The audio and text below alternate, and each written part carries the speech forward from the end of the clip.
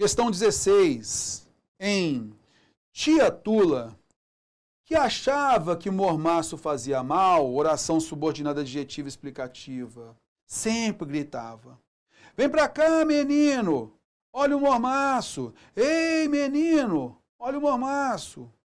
Os termos tia tula e menino desempenham a mesma função sintática nas orações em que ocorrem, o que justifica o fato de serem isolados por vírgulas. Vamos então aqui avaliar.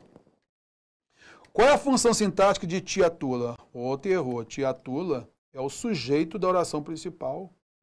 Tia tula sempre gritava. Tia tula gritava. Pronto. Sujeito da oração principal.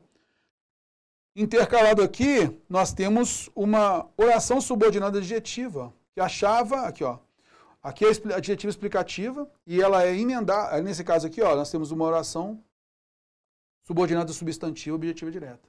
Então ela, ela estende o sentido da explicativa. Que achava que mormaço fazia mal. Então aqui nós iniciamos uma explicação, finalizamos, uma explicação aqui também.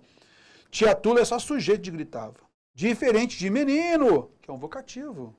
Vem para cá, menino. Menino, vem para dentro. Então a gente tem aqui o vocativo. Então a questão cobrou simplesmente o reconhecimento do vocativo, separado por dupla vírgula, está intercalado, em relação ao sujeito. Tá legal? Então, cuidado com isso. Não apresentam a mesma função, não. Tá?